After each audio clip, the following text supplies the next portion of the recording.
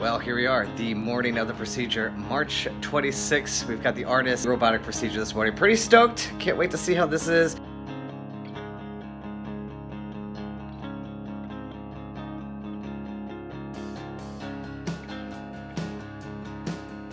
Not even 24 hours after its procedure, this is what it looks like. And this looks amazing. Crate has excellent density, uh, averaging at least three hairs per graft. We got about 1,620 grafts. So he's going to have a ton of hair. Don't forget, Crate's on Alt 103.3 uh, between 2 and 7 o'clock during the week. Listen to him, he's phenomenal. That's right, thank you. Shameless plug. Hi, it's Crate. Uh, day three after my procedure, I am back at work on the air today. Uh, I have uh, seen all of my coworkers. They've all come to ask me how I'm doing. They're all wondering, you know, are you in any pain? Uh, does it hurt? No. The ARTAS Robotic FUE procedure that I had done left me pain free. So thanks to everyone at PAI here in Indianapolis. And remember to follow my progress at WeGrowHairIndy.com. Okay, this is uh, Crate four days after his uh, ARTAS robotic FUE procedure, and this is healing perfectly. Now, this will look remarkably different in about four to five days. The little crustal scabs will come off, and the redness will be gone, and you'll really start to see how quickly it heals and blends. The benefit of the robot is the accuracy with which we can extract the follicles from the back of the scalp.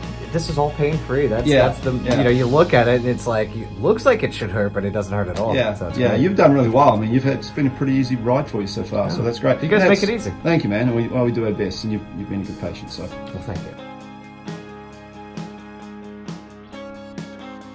Hey, it's Crate. We are 10 days from the procedure. The uh, scabs have totally started to fall off. They're flaking off.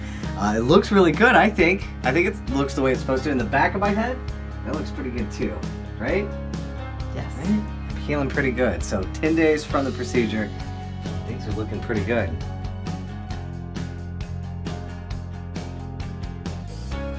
Hey, it's Crate. It's been six weeks since my procedure with my hair. Uh, Darren told me it takes about 60 to 90 days for you to start to really see any growth. So if you look, you can see where the original hairline is coming back, um, but then you can also see where some of the new sprouts are. Hopefully you can see that. Uh, but I'll show you the back where the donut area was. This is where they pulled that out and uh, seems to be healing very nicely. This whole process has been a breeze. I don't know why I waited so long to go through with something like this, but it's been great. So all the crew at PAI, you guys are awesome. Thank you for everything, and I cannot wait to see how much uh, more hair is gonna grow.